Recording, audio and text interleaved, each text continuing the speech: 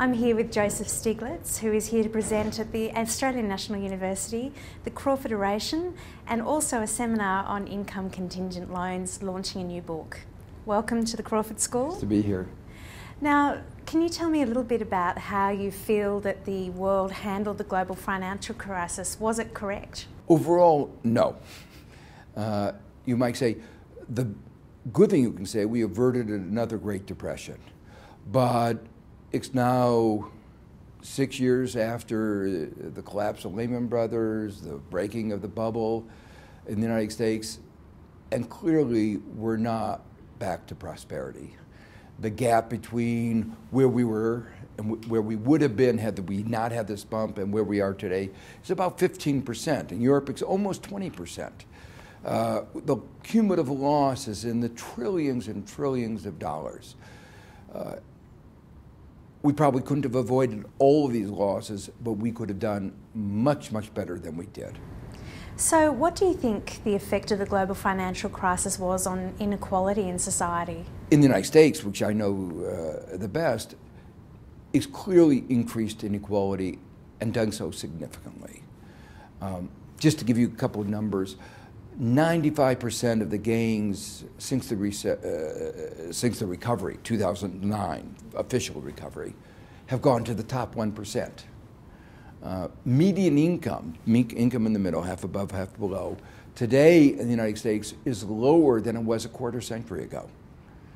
Uh, the median wealth of the United States fell by 40% back to the levels of the early 90s, which meant that all the increase in wealth over a period of two decades went to the very top.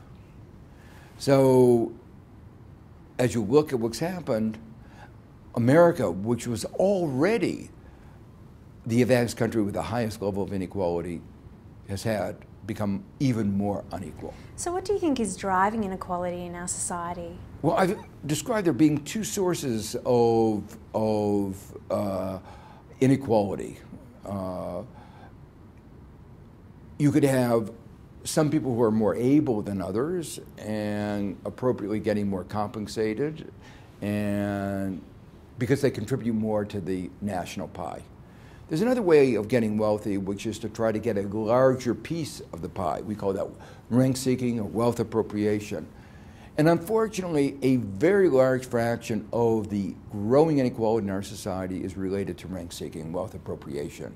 You can see it if you look at the people at the top, people who made their money out of monopoly, uh, CEOs who took advantage of de deficiencies in corporate governance to seize a, a larger fraction of the corporate uh, income stream. Uh, people in the financial sector who became wealthy by engaging in predatory lending, abusive credit card practices, monopolization, a whole variety, market manipulation, a whole variety of activities that didn't make our economy stronger. In fact, made it weaker. But actually, we're just taking money away from other people. You've suggested that uh, the Australian government should be spending more in the budget if they were to spend more, what area of the budget would you be recommending that they spent more money in to reduce inequality? Well, there are a whole variety of areas, and I don't feel competent enough to know the details of, of Australia. Uh, in most societies, and I suspect Australia is one, education is one of the most important areas. Increasingly, we've recognized the importance of preschool education. Uh, that's been stressed by uh, the work of a fellow Nobel Prize winner, Jim Heckman. Um, the, uh, Australia is distinctive in having its contingent income contingent loan program that makes access to higher education more greater than in many other countries around the world. But to take advantage of a higher education, you have to have good elementary and secondary education. And take advantage of elementary and secondary education, you have to have you have to be able to be in a good position even before you go to school. And that's why the, trying to trying to expand the education system uh, to make it uh, particularly uh, uh, focusing on some of the people who otherwise would not uh, be able to uh, live up to their potential is, is so important. So, I know that you're here this week launching a book on income contingent loans. Can you talk a little more about the ways that income contingent loans can help reduce inequality within society? Well, maybe the best way of understanding that is to contrast the situation in Australia with that in the United States. Uh, in the United States, uh, tuition has been soaring, uh, particularly after the recession. Uh, there were cutbacks in state support for higher education. Universities had no choice but to raise tuition. But meanwhile, incomes were going down.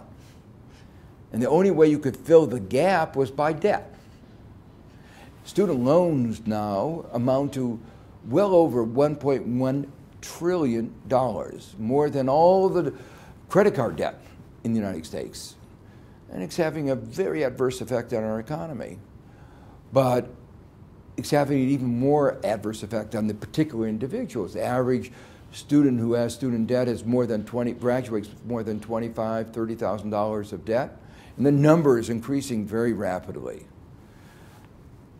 They have to pay that debt no matter what happens. Uh, if they go into a low paying profession, they still have to pay it. And that's forcing them to make unpleasant choices. They might want to go into teaching or into ministry or to some other activity that's very valued by our society. It just doesn't pay a lot. Uh, but it's essential for the functioning of our society. They can't make that. They can't do what they want to do.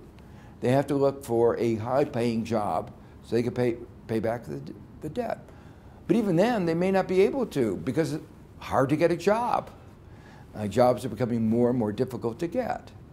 So, and in the United States, the bankruptcy law says that even no matter what happens, it's very hard to get debt discharged in bankruptcy. You can buy a yacht and get your debt discharged, but not if you invest in yourself. Well, that means that all the risk is borne by the individual. And that means poor children from poor families are hesitant to make the investments that would allow them to live up to their potential. The big advantage of Australia's income contingent loan program is it says we'll bear some of that risk. We'll allow you to spread that repayment over a longer period of time if your income isn't so great. There'll be a certain amount of debt forgiveness if you, Turns out that over a 20 year period, things didn't turn out very well.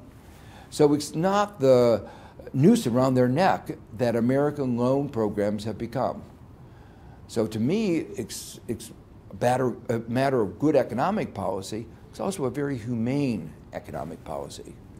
Is there any country in the world that you would point to that is getting the economic and social policy right at the moment? Well, in general, the Scandinavians are doing better than I think, almost any other country. And I mean, it's interesting, uh, by the standard measure uh, of inequality called the Gini coefficient, Australia's inequality is twice that of the Scandinavian countries. Uh, it says something about Australia, it says something about the Scandinavian countries. It says it's not just the economic laws. The same economic laws apply in Scandinavia as apply in Australia. In fact, Australia ought to have lower inequality because in Australia, a lot of your wealth is associated with minerals. If you tax minerals more, they're not going to go away. If you tax labor, if you tax savings, people might save less, might, might uh, work less. Effects may be relatively small, but nothing's going to, the iron ore is not going to go to another country. So that means you have a, a base of revenues that you could use to create a more equal society. Very different from Sweden, for instance, or Denmark, that aren't lucky in that way. And yet, you have twice the level of inequality of Denmark. Why do you think advanced economies like the US and Australia are getting it so wrong on inequality? It's obviously politics and, and policies. And in the United States, I, I understand very clearly why we're getting it wrong. economic inequality has led to political inequality.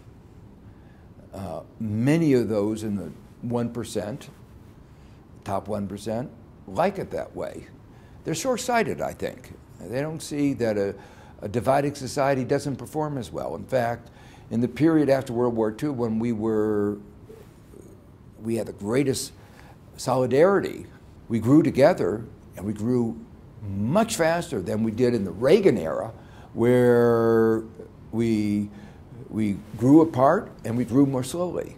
So it is short sighted that so many people in the top just think of themselves and don't think of our broader society, because I think even they would be better off if we grew more.